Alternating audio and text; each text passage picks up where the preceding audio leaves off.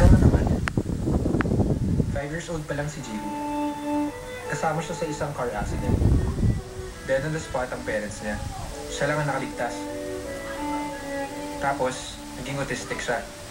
Wala siyang pinapansin. Pero si Susan ang nakapagpabalik sa kanya sa normal situation. Pero para kay Gio, siya ang kanyang first love. girlfriend.